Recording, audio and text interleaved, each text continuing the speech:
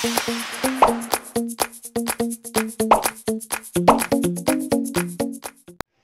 guys! This is Mari Ferromoir and welcome back to my channel!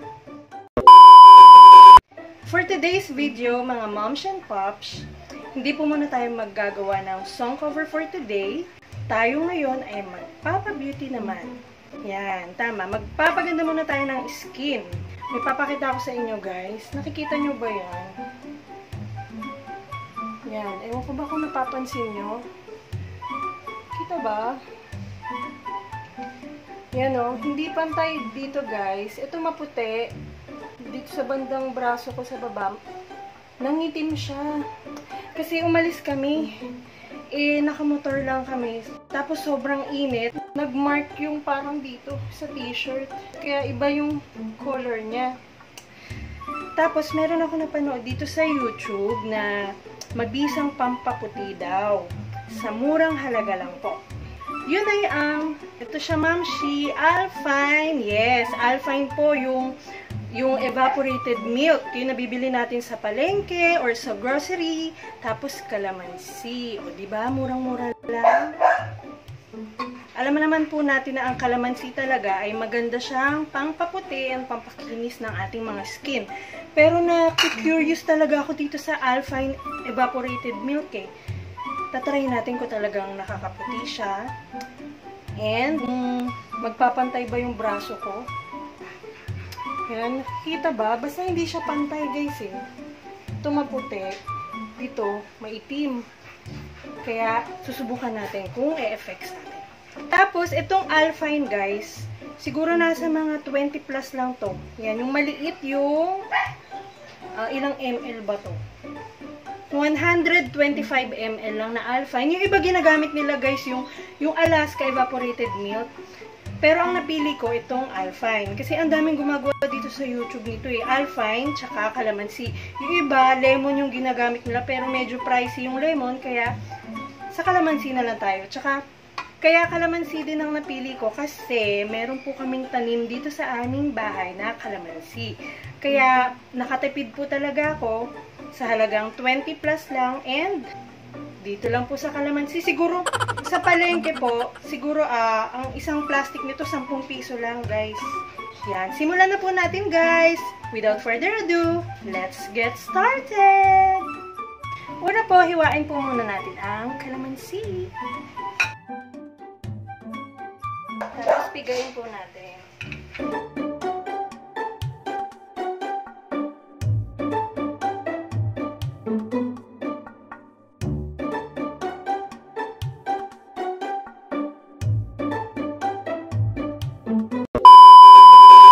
A few moments later. Mga moms, 5 pieces na kalamansi lang yung nilagay ko kasi nagwo-worry ako baka kasi mahapdi sa skin. Kaya limang piraso lang yung kinuha ko dun sa tanim namin. Yan, pagkatapos po natin mapiga ang kalamansi, i-separate po natin yung mga buto.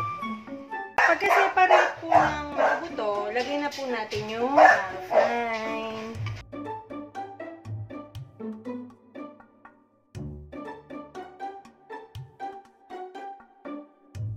Yan guys. Tignan yung texture niya.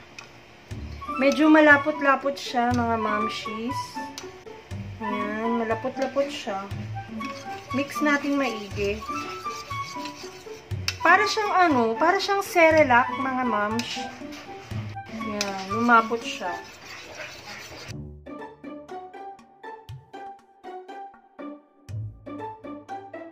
A few moments later. Yan guys, na-prepare ko na yung alpine with calamansi. Spread na natin siya sa sa braso natin kasi spread na natin siya. Ayan mga mamsyo. Kita nyo ba? Dito maputi. Dito medyo nag-brown siya. Kaya, apply na natin siya. Para lang tayo naglo-lotion, mga mamshies. Tsaka pwede rin pala to sa mga uh, nilalagay, pwede din siya ilagay sa mga singit natin, sa buong katawan, sa face, sa mga tuhod, yan. Sa mga kuyukot nyo. Kasi nakikita ko pwede daw siya. Ayan. Spread lang natin. Kalahati lang pala yung nilagay ko nito para ah, bukas meron pa tayo. Bali, susubukan ko siya siguro. Update ko kayo after mga 3 days. Tapos gagawa ulit ako ng separate videos kung merong pagbabago sa ating braso. Ayan, mga mamushi. Sa kabila naman. Yan o. Maputi o. Tapos ito naging brown siya. Sorry po, itim ng siko ko.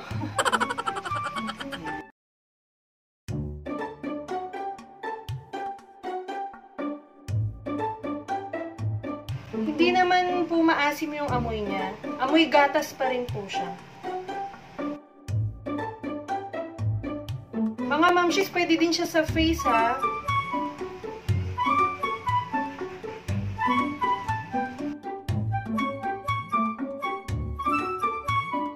Babalikan ko po kayo, patutuyuin lang natin siya.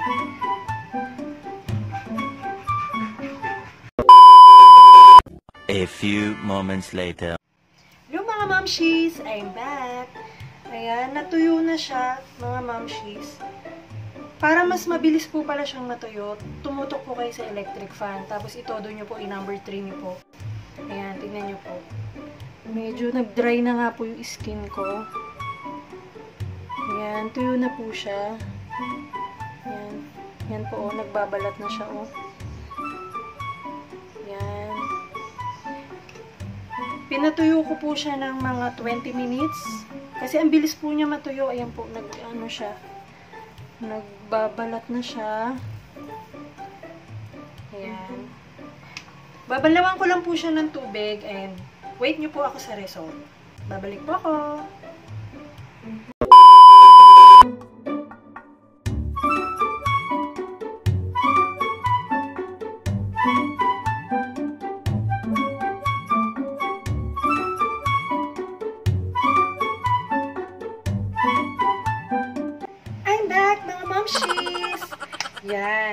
Tapos ko nang balawan yung aking braso. At ang masasabi ko lang, guys, ang ganda niya sa balat.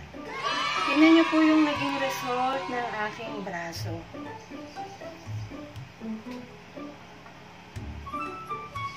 Diba? Naglighten po siya mga mamshis. Tapos yung braso ko po kanina, di ba, hindi po ganyan yung color niya. Nag, naglighten po siya. May brightening effect talaga siya, mga moms. Ang ganda niya. Tapos medyo nag-dry siya ng konti kasi nga po, ang kalamansi po, ang pagkakaalam ko is nakaka-dry po talaga siya ng balat, lalo na pag nakababad po siya ng matagal.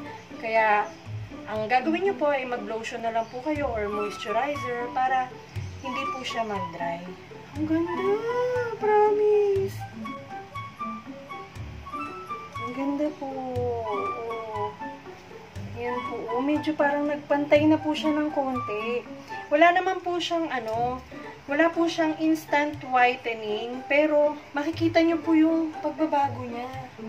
'Di ba? Ayan po. Nakakatuwa. Oh my gosh. Look at that, mom she's. O, diba? Tapos, ano po, ah, malambot po siya sa skin. And, ayun, kailangan lang po mag-lotion po tayo pagkatapos natin gawin to para hindi po siya mag-dry. Tapos, yung amoy niya po, medyo nandun pa rin po yung konting-konting amoy gatas po siya. Kasi po, ah, hindi ko po siya sinabon. Ah, binalawan, binalawan ko lang po siya ng tubig para makita natin talaga yung changes niya kung ano magiging result. Eh, di ba po, ang ganda. Oh, look at that, mga mamshis. Diba?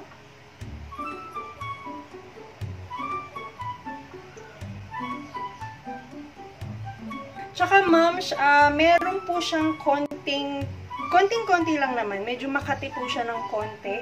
Kasi nga po, medyo nagda-dry po siya. Kaya kailangan po talaga is mag-lotion po tayo pagtapos po natin tong gamitin. Ah, siguro i-update ko po kayo mga after 3 days, gagawin ko po ito. And ayun na nga po. So, that's it for today's video. Sana po may natutunan po kayo sa video na to.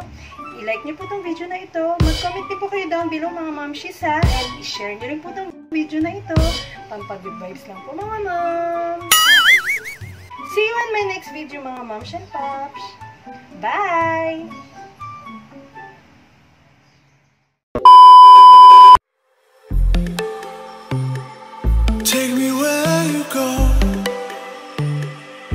Sun goes down.